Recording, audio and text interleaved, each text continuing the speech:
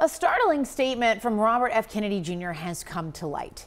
He said doctors found an abnormality on his brain scans in 2010 that was, quote, caused by a worm that got into my brain and ate a portion of it and then died. The quote is from new reporting by the New York Times. Yeah, the Times says that Kennedy made the statement during a deposition as part of his divorce proceeding back in 2012. He was describing experiencing severe memory loss and mental fogginess a couple years before that. He said that he has fully he says that he's fully recovered from the parasite and that he has no after effects. Of course, a lot of questions about this. We have CNN's chief medical correspondent, Dr. Sanjay Gupta, joining us. You're a neurosurgeon, Sanjay. You've actually operated on these kinds of cases when it comes to these parasitic worms and their removal.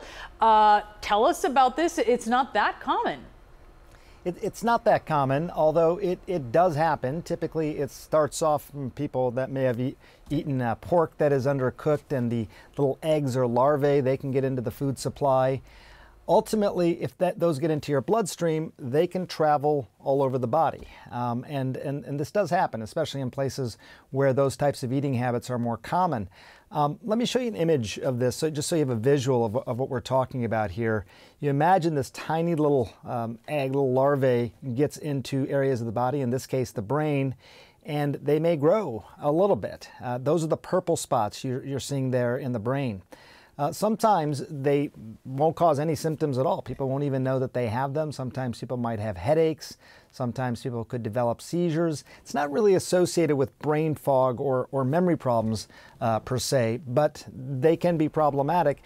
A lot of times there's nothing to do about it. They're not causing symptoms. Sometimes there's medications, parasitic medications, or sometimes you have to do an operation, as, as you mentioned. And you know, here's a brain model here, so you can imagine that sort of near the surface of the brain, if you had one of these cysts, you'd make a little bony opening in the skull and basically remove that cyst, which, which sort of represents this, this parasite. And that is sometimes necessary as well. So it does happen. It is rare. I think you don't really describe it as having eaten the brain as much as sort of living there in the brain and possibly causing these problems.